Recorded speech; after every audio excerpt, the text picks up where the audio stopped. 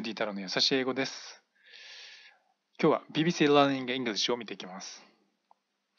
シリーズたくさんあるんですけれども、えー、今日は The Experiment、えー、実験試みということで、えー、35項目あるうちのセッション12まで見ていきたいと思います。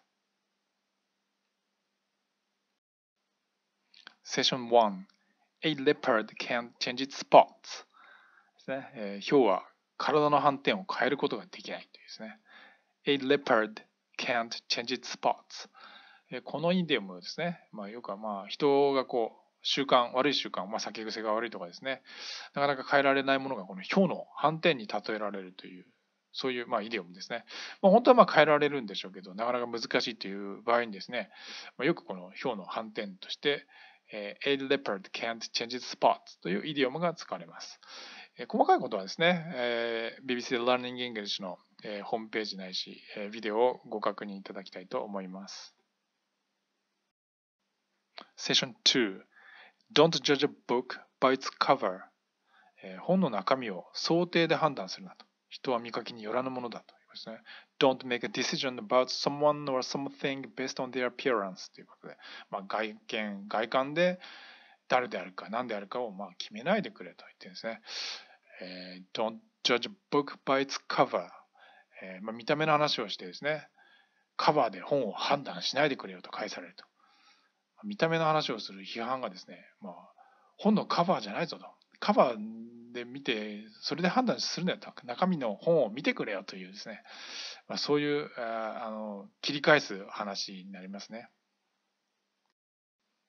セッション3 Too many cooks spoil the broth えー、料理人が多いとスープの味がダメになる。broth、まあ、だし汁とかですね、ブイヨンとか、まあ、スープですね、えー、たくさんの料理人がまあ手を出すと、ねまあ、スープがまずくなりますよと。ねまあ、よくまあ個人でね、あの一人でやり、なんか物事をやりたいという時にですね、みんなでやってくれなと、俺一人でやりたいよという時に、まあ、出てきたりしますけどね。If too many people are involved in the process, it will fail. えー、たくさんの人が、まあ、首を突っ込むと、工程に首を突っ込むと、まあ、失敗しますよということですね。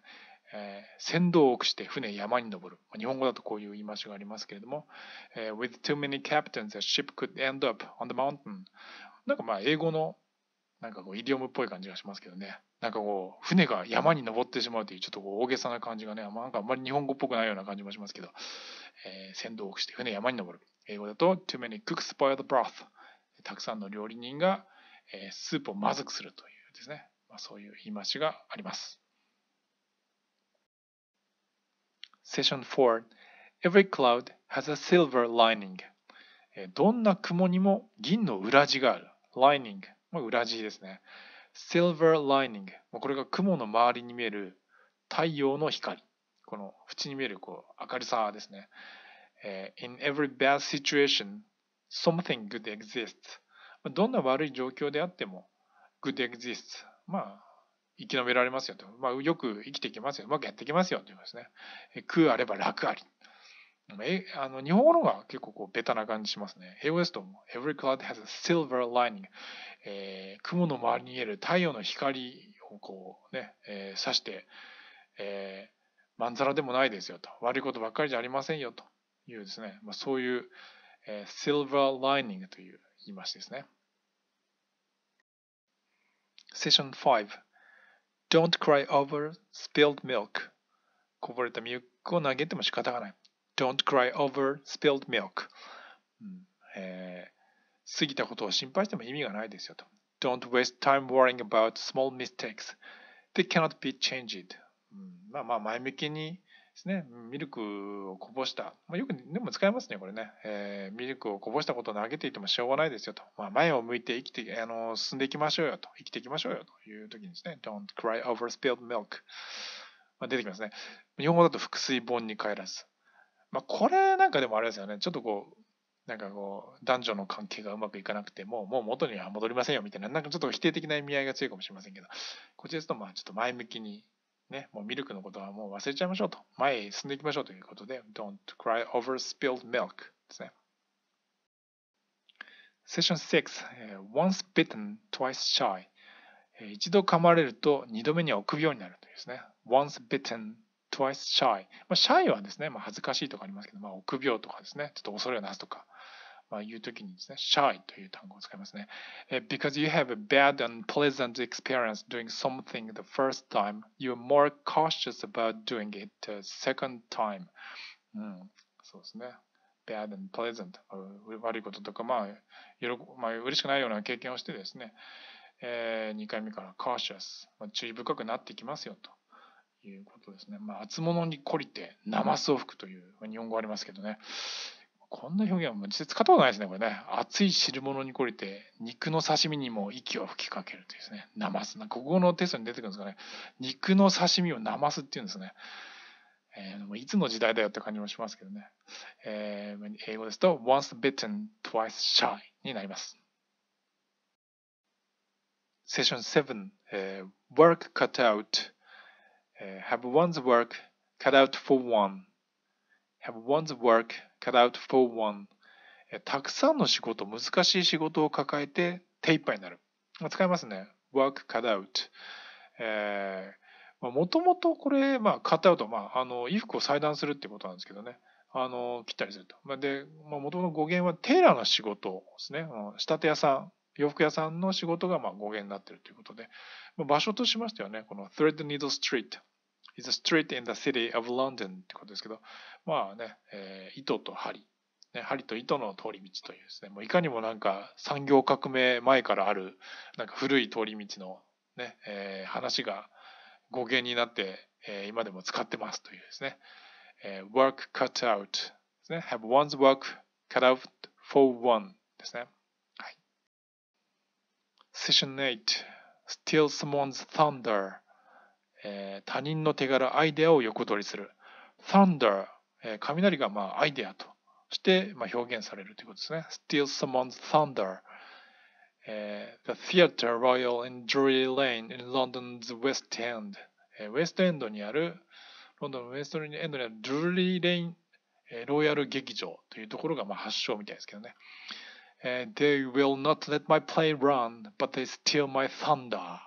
ね、イギリスの劇作家が雷の交換を盗まれたというね、マクベスかなんかなんか別の作品で自分の編み出した雷の交換を使われてですね、激怒して、俺のサンダーを盗みやがったなというのはですね、えー、未だに使われているということですね。Still someone's thunder. はい。セッション9 Warts and all、えー、イボも何もかも Warts and all すべてですね。何もかも。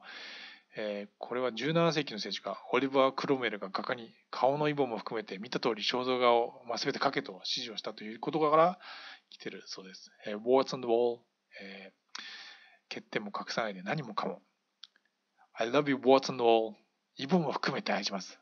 こんなの日本語で言うとどうなっちゃうんですかね。こ女性に告白する際に、あの、あなたの全て、味噌もクソも愛しますなんて言ってですね、なかなか具合が悪いんだろうと思うんですけどね。えー、英語ですと、何もかも、イボも何もかも、warts and all っていう、えー、言い回しがあります。セッション10、small talk 世間話、雑談ということで、えー、セッション10ではですね、avoid 避けるのは sex だと。職場でのですね、まあ、性の話というものはまあ一般的に避けるだろうと。まあ、結構あからさまにですね、まあ、言う人も職場にいるのかもしれませんが、えー、放送では、まあなんかこう、結構、煙たがられるですね、えー、感じがあって、えー、話しかけられた方も去ってったりなんかしてましたけども、It's not standard thing to talk, talk about, especially not at work. Would you ever ask anyone about their sex life at work? そうですね。まあ、職場では普通にまあ一般では聞かないでしょうということでね、えー、avoid sex という形で、えー、ビデオは、えー、説明してました。セッション11、えー、スモールトークでは、avoid 避けるのは salary ですね。給料。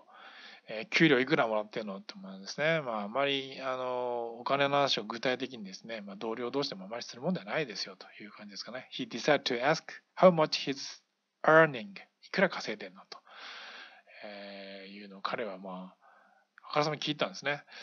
I think most people will want to talk about their new job 新しいポジションねじねまあ、こう上司になったというか、まあ、ある意味こうランクが上のポジションね、役職を得てですね、給料上がったんだろうけども、えー、まあ、そのお金の話じゃなくて、その新しい仕事はどんな感じたいと、まあ、仲間同僚ならばですね、そういう話をまあ聞かれたがってるし、そういう質問をすべきじゃないのと、実際具体的なサラリーいくらもらってるのかという話をですね、まあ、実際、職場でやるもんじゃないですねという、まあ、そういうお話になってます。Session 12 Small Talk Avoid 避けるのは Politics 政治ですね。Uh, who do you vote for? 誰に投票しますか ?Which party?